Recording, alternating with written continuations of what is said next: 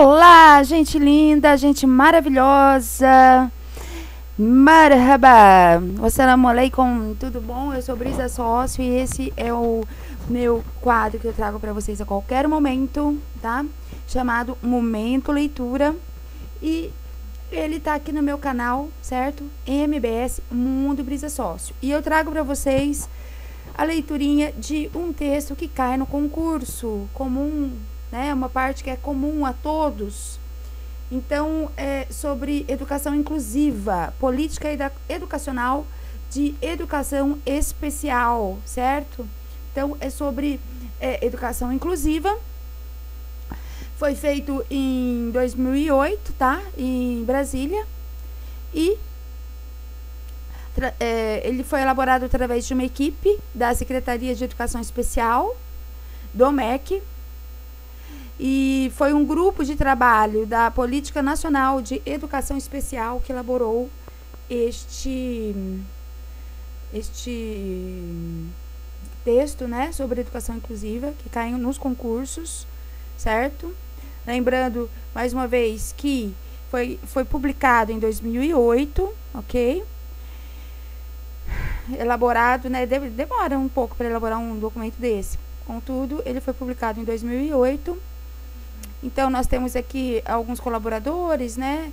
Como o Antônio Carlos do Nascimento Osório, é, Denise de Souza Fleite, quem mais? Entre outros, tá? E se destacam aqui é, a Cláudia Pereira Dutra, Cláudia Mafini Griboski, Denise de Oliveira Alves e Kátia Aparecida, Aparecida Marangon Barbosa. Bom, então, é, como vamos já começar aqui na apresentação, tá? Porque neste documento consta os marcos históricos e normativos, o diagnóstico da educação especial, o objetivo da Política Nacional de Educação Especial na perspectiva da educação inclusiva.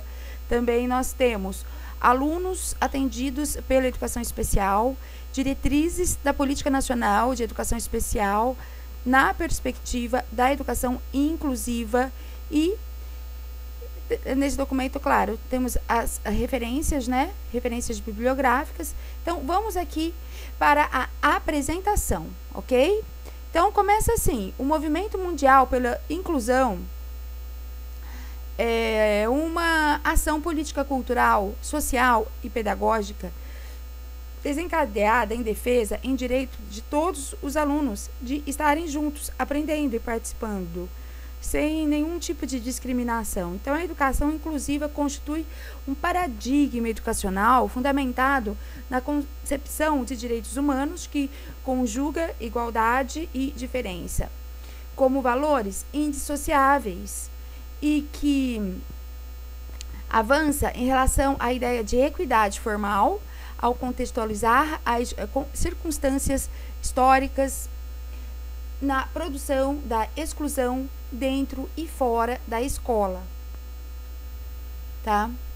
Então, ao reconhecer que as dificuldades enfrentadas no sistema de ensino evidenciam as necessidades de confrontar as práticas discriminatórias e criar alternativas para superá-las, a educação inclusiva assume espaço central no debate acerca da sociedade contemporânea e o papel da escola na superação da lógica da exclusão. A partir dos referenciais para a construção dos sistemas educacionais inclusivos, a organização de escolas e classes especiais passam a ser repensada, implicando uma mudança estrutural e cultural da escola para que todos os alunos tenham suas especificidades, tá? Tenham suas especificidades atendidas.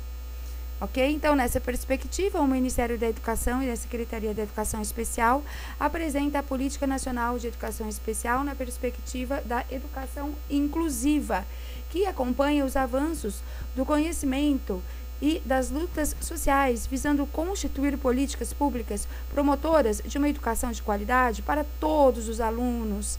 Então, aqui eu já li essa introduçãozinha, tá? A apresentação.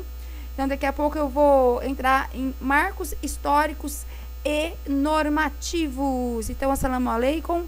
Então, até o próximo Momento Leitura.